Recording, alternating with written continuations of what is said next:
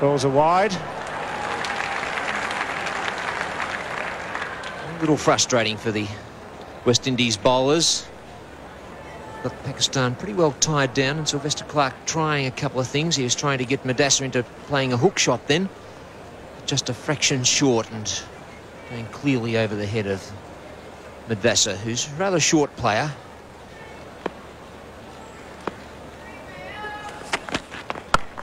In the air and safe. Struck that well, racing out to the square leg boundary. Richard giving chase, but doesn't make it, and that's encouragement from Mudassar on the Pakistan side. The first boundary coming in the 10th over. A very short boundary there, and the indications from that shot, Bill, is that Pakistan will certainly need a total of 200, 230 today, as that ball went to the boundary very quickly. Just a roll of the wrists, wasn't hit all that hard.